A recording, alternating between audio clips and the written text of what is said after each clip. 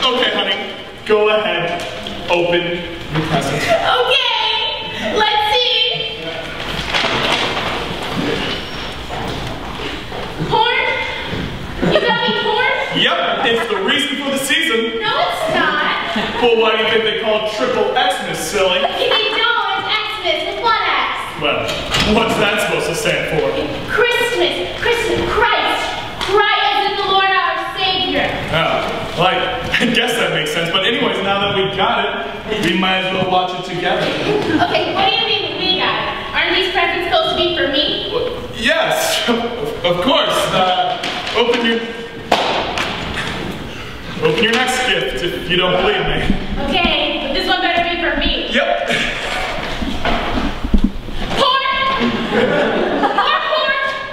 And this time it's anal. Why would I want that? Because you've always wanted to try it. Okay,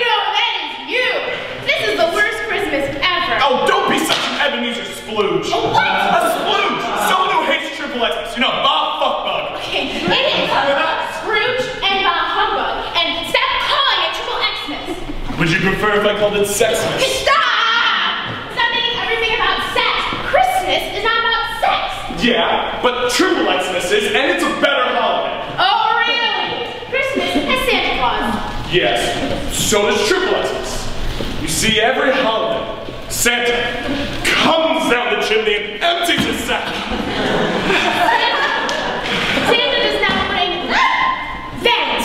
He brings toys. Exactly, like dildos and stuff. Now, regular toys like dolls. Blow up dolls. Baby dolls. Oh, well, your Santa sucks. You got me corn. Fine, I'm a fuck up and got you the wrong thing.